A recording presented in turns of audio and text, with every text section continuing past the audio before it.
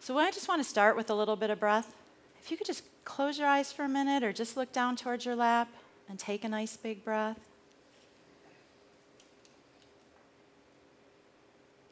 And now take one more breath, and as you exhale, imagine blowing Muhammad's little beach balls out in front of you. And go ahead and open your eyes. It's amazing how just settling down a little bit can make a big impact. I work with a lot of college students and high school students. They come to see me for a variety of reasons. But the techniques that I teach them, which involves a lot of breathing and a lot of meditation techniques, they're telling me makes all the difference in the world in their schoolwork. So, all of you that are still in IIT, it's a really good technique. When you sit down, I don't know if you're like me, when I used to open those finals, my first reaction was, This is not what I studied. well, they're telling me they all had the same reaction. But when they sit down and just close their eyes for a minute and breathe, and then they open their eyes and they open their exams, they know all that information. It's that stress in the middle that kind of gets you snagged up for a moment. So try it. See if that technique helps. They're telling me their grades are getting better and they're finishing their exams before everybody else in class. So we're all up for that. I'm going to take your attention actually right now to a system in our body that I think is so amazing the fight or flight response. Just imagine you seem to find yourself in an encounter with this face. And before your mouth can even form the words, oh, shoot, your hormones start surging, your hippocampus sets off an alarm in your body. The adrenaline starts pumping, the cortisol.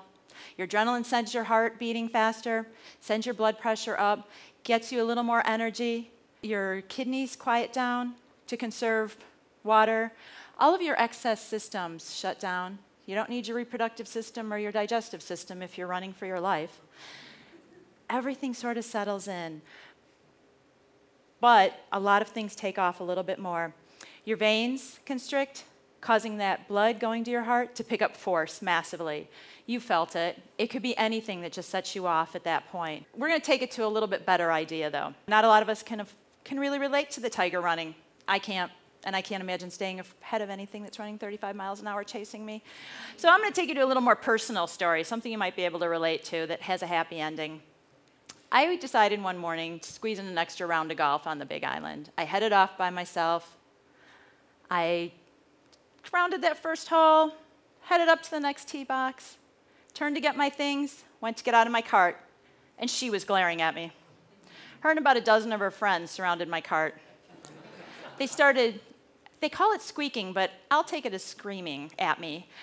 And everything shut down in my body. My heart started racing. My focus narrowed down. I needed to try to find a way to get away from them. I didn't know if they wanted food from me or if it was mating season, and I looked like the kind of girl who'd go after a peahens guy. but I wasn't taking any chances.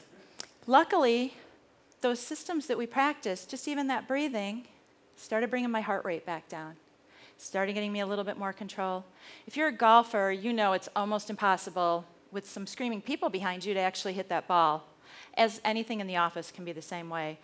So we need to narrow those systems down, get us a little bit more control on these things. So take it back to your office. How many people have somebody at their office that looks just like this? Could be your boss telling you you've got hot deadlines. Could be that guy in accounting telling you one more time you're over budget.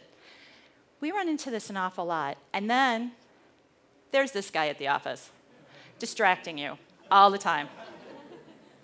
It might not be a living being, could be that ding of your email. Could be that noise that your phone makes when that text message comes through. It's something that's pulling you away all the time. It could be those thoughts about some financial issue. Or maybe your teenage daughter just learned how to drive. When our fight or flight response takes over, it can save our life. But when it's long term, it's a chronic issue. It starts to cause damage to our body and to our minds. We need to find those tools to take us back a notch. 75% of insomnia is because of stress issues. There was a recent study that was done by 5,000, there were 5,000 men that were studied for 30 years. They found those that had work stress had a much higher incidence of strokes. Heart failure is the leading cause of death in this country. More women die of heart failure than of every cancer combined. Six studies came out in the last two years just giving us definitive proof that work stress contributes to those heart failures. In every study, they found the people that had the highest stress levels worked more hours, but they worked out more. They ate healthier, they didn't smoke, they didn't drink. Actually, they were healthier people. They had a much higher incidence of cardiac arrest and a higher mortality from that cardiac arrest, leading the researchers to say that above all other factors, it's the stress levels that feasibly can kill you and give you a cardiac arrest. American Heart Association actually came out with a warning saying that job stress can lead to higher heart disease rates. So it's something we need to start taking seriously. When you're not sleeping, your immune system's not rebuilding. I don't know if anybody in the audience has stress levels, but I hear a lot that people are not sleeping right. They're not falling asleep. And the biggest reason that we're hearing about it is that chatter, those thoughts. You're thinking about what you did today, what you need to do tomorrow, what else you need to do, what might happen, what might not happen. And those thoughts are going all the time. Could take you an hour, hour and a half to fall asleep at night.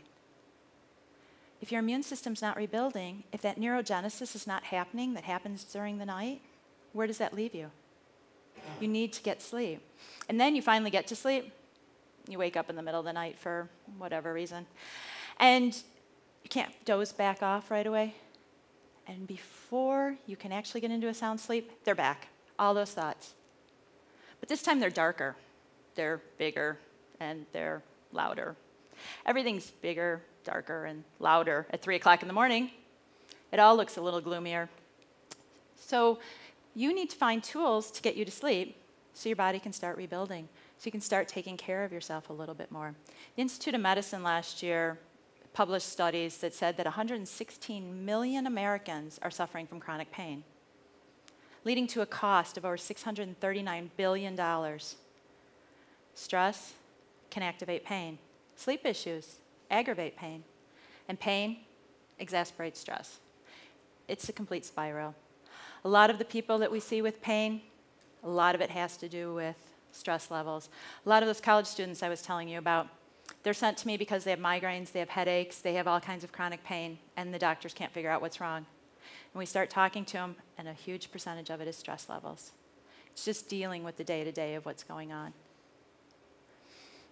The Yale studies recently stated that, I don't know if you saw this, gray matter actually shrinks due to chronic stress. It's kind of big. Your brain shrinks because of too much stress. Then you have less brain to deal with future stress. Where does that leave you? Neurogenesis slows down. But we found that stress can be lessened by new neurons. Well, if your neurogenesis slowed down, you don't have new neurons to deal with stress more accurately, right? It's a vicious cycle. It's taking yourself out of that circle all of the time. We need to find a good solution a really good solution that's going to target this problem. Stress is a perception in the brain. What's stressful for you might not be stressful for me, could be stressful for her. We don't know. It's all a perception. Think of going to the amusement park. You get on that tilt-a-whirl, that roller coaster, that Ferris wheel. For those of us that are enjoying that ride, we're producing amazing cancer-fighting chemicals in our body, all good antibodies. But if you're terrified, it's that cortisol and that adrenaline that's pouring out in your body, doing damage to your body because you're scared. It's all a perception. So, how do we take that and make that a positive change for us? How do we target it exactly? Because there's a lot of things that they talk about. Stress is a really big, just a really big thing out there these days. And they say, you know, take this class, take that class, try this. You need to target exactly what you're doing. One of the things that we've been doing since the early 1950s is biofeedback. Not me personally, but it's been a good targeted solution for a lot of people. With biofeedback, we use machines to see how your body responds to what you're thinking, enabling you to change your thoughts, your emotions, and your behaviors to get your body to respond the way that you want to. A lot of it revolves around the autonomic nervous system, things you didn't think you had control over that you actually do. And the machines help point that out to you. They're very sensitive. There's a number of different modalities that we use depending on what your goals are. Vascular contraction lets through much less warm blood to your extremities, to your tissue. We use a lot of peripheral biofeedback because the more relaxed you are, the more blood comes to your tissue, the warmer your extremities will get. Something we use a lot, if you think about it, it's been used for years with headaches, with migraines. Because what you're doing is dilating those blood vessels and letting that blood run to where it needs to be. The galvanic skin response all has to do with sweat. What we're measuring is not necessarily sweat glands. Unfortunately, physiologically, we can't do that. What we're measuring is the electricity in the salts, in the sweat, to see what your reaction is to things, to see what's most useful for you. EMG is electromyography. It's all muscle control. Think of the first place that you stress. The shoulders go up, the neck, get, neck gets tense. We put sensors on. They actually go with the electrical component of that muscle contraction, and they tell you when you're contracting that muscle, giving you advance notice of what's happening before it becomes a chronic problem. By then, we've probably also learned what's going to relax you the most. So you can incorporate that at that point and get rid of this problem before it becomes something major. Heart rate variability, we found, is a good indication of mortality and morbidity from different heart conditions. We use it a lot with peak performance work. I train a lot of athletes, and we use it a lot to get your heart in a good recovery place. It's getting your whole system in that place. We always use small machines and we try to see exactly what's working best for you. If you think about it, when I work with a lot of engineers, we tend to do a lot of left brain things. We tend to do muscle relaxations or something that's really going to take on that left side of your brain that's going to work the best for you. For some people, visualization works the best. That's another technique that we use an awful lot, and it works for a lot of people. Or some kind of breath techniques, like just that little bit of breathing we were doing at the very beginning. It's finding what's exactly appropriate for you so you can get the most out of it immediately. We're kind of an immediate society. We want to make you feel better as fast as you can and get you those good tools. I just want to conclude with a really inspiring story. There are two doctors who are therapists in Israel who are working with children they had found that, unfortunately, because of the situation there, there's more trauma of children than there are mental health professionals to help those children. They started in a city in the south teaching them just breathing techniques, things similar to what you were doing, just blowing those, balloon, those balls away, or just some kind of breathing techniques, and a little bit of that peripheral biofeedback. They taught it to, they had 1,500 students. Unfortunately, they only got it to about half of them before war broke out and the rockets started overhead. When the war settled down, they went through all those children to see what kind of state they were in and evaluated everybody. The children that had just learned that breathing, something that simple, had 50% less PTSD and 50% less trauma disorders. Just that little bit of breathing. It doesn't take a whole lot. Now, the department or the Minister of Education, I understand, is looking at bringing it to all the students in all the schools. It's something that can help everyone, and it can help you on a very small level, but it's using those techniques. Another big thing that we use is neurofeedback, brainwave biofeedback. It's putting sensors on your head, they listen to your brain. You see on the screen what your brain's doing. There's an instantaneous feedback. There's usually waves you're trying to suppress and waves you're trying to increase. You change what you're thinking about depending on the results we're looking for on the screen because of the neuroplasticity of the brain, the more you fire what you need to be firing, your brain starts to hardwire that way. It's a long term change. I can't say permanent. The brain's plastic, things happen. But we get see long term changes in people. It's probably best known, and you've read about it the most lately, with focus issues. It's one of the primary things that we use it for. And it's used with children, it's used with adults. Sometimes over 40, I hear a lot of people saying they just don't memorize those journals as well. They just don't focus quite as sharp as I used to when I was 20. And we start seeing a big difference because what's going on in the brain is something that we can really see, and we can start taking those components out of it.